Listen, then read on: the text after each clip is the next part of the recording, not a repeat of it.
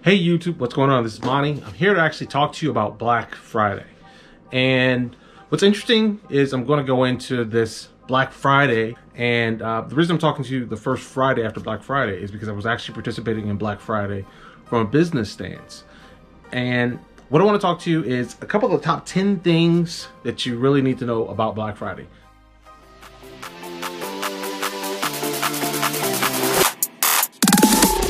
Welcome back. It's Monty. I'm here with uh, the top 10 things you really need to know about Black Friday. And it's interesting to me because I didn't really pay a lot of attention to Black Friday. I always know I knew about the the big rush to go to the stores on Black Friday, but it wasn't something that I really particularly wanted to participate in. And I didn't necessarily think about it from a business stance, but I really should have. And it was very interesting to me because um, I'm going to get into some of the real cool things that I learned about Black Friday as I started to get prepared for Black Friday this year as I participated from a business stand. One of the most interesting facts I ever learned about Black Friday Black Friday was referring to a stock market crash. Um, it was actually referring to a stock market crisis that happened, and it was September 24th, 1869, that there was this huge stock market crash, and uh, it was when the Fisk and Jay Gould were trying to uh, corner the gold market. It's uh, it's an interesting thing and it's an interesting story. If you look more details into it, it was really an investment side of why it was called Black Friday. Uh, but again, that was the 1800s. Again, to be specific, it was 1869 when Fisk and Gould tried to corner the gold market. That's interesting fact number one. Number two, usually, and this is kind of one of the most interesting things about Black Friday, as things have continued to progress, it was really essentially started with the uh, Santa Claus and the Macy's parade on Thanksgiving. So that's why people usually celebrate Black Friday, obviously, on that Friday. And again, people would have the entire Thanksgiving Day parade, and then they'd see the Santa Claus, and then, okay, it's Black Friday. That was the next day of actual sales. Uh, but that was how December 2nd, 1905 was kind of the official kickoff and it was the end of the parade that signaled the beginning of Black Friday. And uh, 1924, Macy's parade uh, was held. Well, actually, that was kind of the uh, the premier Macy's Day parade. Uh, but 1905 was when it was called uh, is when in Canada where they called the Santa Claus Parade, but that was before the 1924 Thanksgiving Day Parade with Black Friday. But again, it was really going and, and having this whole uh, Thanksgiving parade in, in 1924 in, in the U.S. that they had the the Macy's Day Parade, and it ended with Santa Claus and signified the whole Black Friday thing. It was kind of a bizarre thing, uh, but that's kind of how it came to be. What's interesting is that Black Friday was once called Big Friday and that was many, many, many years ago.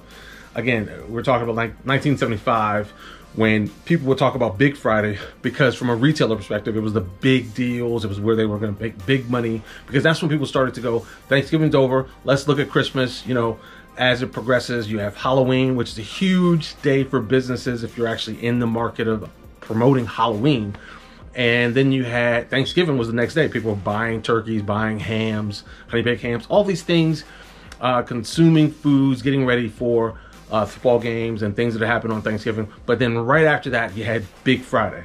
So that's kind of where things uh, were in. Again, there was the 70s. That uh, 75 was when that really started to to kick off the term, and the New York Times actually kicked that off. Black Friday wasn't really officially officially claimed until about 2001 and it was thought it was the biggest shopping day of the year. It was really kind of positioned that way. Um, but it was actually the Saturday before Christmas that was really uh, the best every year. So Black Friday was positioned to be sort of a big day, but it was that, that Saturday before Christmas that was really the biggest shopping day. And that was a, an interesting thing. Again, a lot of Black Fridays, we're talking pre-internet. This was all in person. So people were getting that Christmas bonus, Christmas rush, they're rushing to get the deals. Black Friday was just sort of a, a theory people were kind of building upon. Now, the word spread to 15 countries around the world, and that's kind of one of the most interesting facts. Again, we're, we're talking about the way the word spread was really just kind of letting people know, you know, Canadian retailers were going to have things. Uh, the United States had retailers that were going to have things. And we're talking about uh, UK, Brazil, India, France, Norway, and many more countries participated in Black Friday funny thing is, when I talk to countries that are not in the United States, a lot of them do not have as much of a focus of Black Friday. And let's be real clear, there isn't really the same history with Thanksgiving that the United States has. So Black Friday is really a traditionally uh, Western and specifically United States holiday, and it's really connected to again Canada, the U.S., with the intention of after Thanksgiving having these kinds of uh, deals. In Mexico, it's uh, called El Buen Fin. It's actually the entire weekend instead of talking about Friday. I'm going to come back to circle back to that. So um, Walmart broke the traditional Black Friday norm, but actually having people to do uh, Black Friday uh, when the stores um, Thanksgiving evening, and that's what I'm going to get to. Uh, again, I'm going to circle back to the weekend, but this is Thanksgiving evening. Walmart broke the norm by starting some of the deals on Thanksgiving evening. One of the things before I actually circle to the final thing I'm really going to touch on, which is Black Friday. Uh, 12% of Black Friday shoppers are drunk.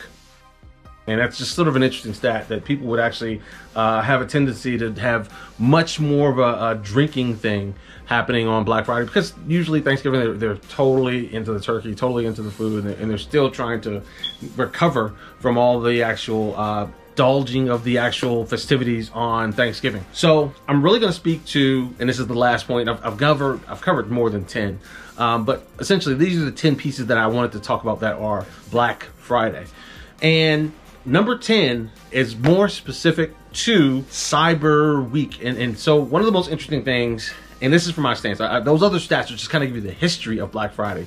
This is really particularly towards your business being able to benefit from Black Friday. And it kind of speaks back to what Walmart did when they first started to uh, coin the position to say, Black Friday Eve or Thanksgiving Eve uh, was how people actually started to do shopping. But when you're preparing for Black Friday, usually most businesses are actually preparing the entire year, essentially planning what they're going to do, how they're going to do it, when they're going to do it, who's going to be staff, how that process is built around their business because that Friday, the theory is this is where the most shopping is going to happen. As time has progressed to e-commerce, people have done a lot more. 50, more than 50% of the actual e-commerce is done is done on Amazon. As an Amazon partner, I'm blessed to participate in that in some way, shape, or form. But it's not just about being Amazon. If you have an e-commerce platform, you have an audience, if you have a community that you can build around, you should be participating in Black Friday too. Now let's frame it. Black Friday is one day. The weekend consists of uh, Small Business Saturday. I uh, don't know what they call Sunday, but if, if, I have it, it'll pop up in the actual description. Uh, so, Black Friday, Small Business Saturday, Cyber Monday. And Cyber Monday actually kicks off Cyber Week, which is very interesting. Now, let me frame it to you. Um, one of the more interesting facts that we learned. Uh, we were actually participating with another group, and uh, the previous Black Friday, they were able to uh, generate somewhere north of, of 30K in sales. And what they did was they did some platform sharing and, and, some engagement within their audience. And within one short period of time, they were able to produce 30K in sales. And we learned that and said, wow, we, when we helped them in that process, we're like, wow, this is amazing. This is awesome. This is extraordinary. And they did that all online. This was all completely done online. And I was just on this whole Black Friday weekend. So we stepped back and we said, okay, let's look at Black Friday and how we can actually participate. And if we get that 10% right, we'd be good.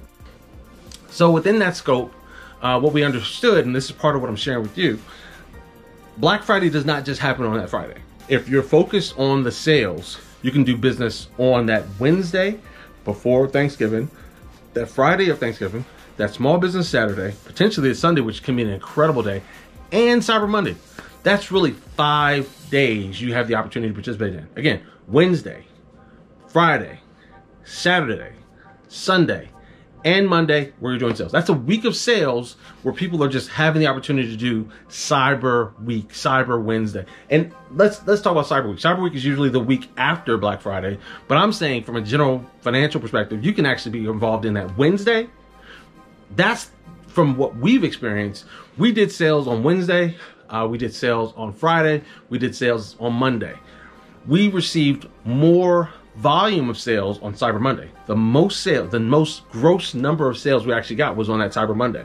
If we were to compare between uh, Wednesday, Friday, and Monday, Monday got 25% more sales. Wednesday had at least 20% more gross revenue. So more sales was on Cyber Monday, more gross revenue kept on Wednesday. And what that means is, even though there was a uh, bit of a discount on Wednesday, people were more apt to pay higher prices on that Wednesday before Thanksgiving.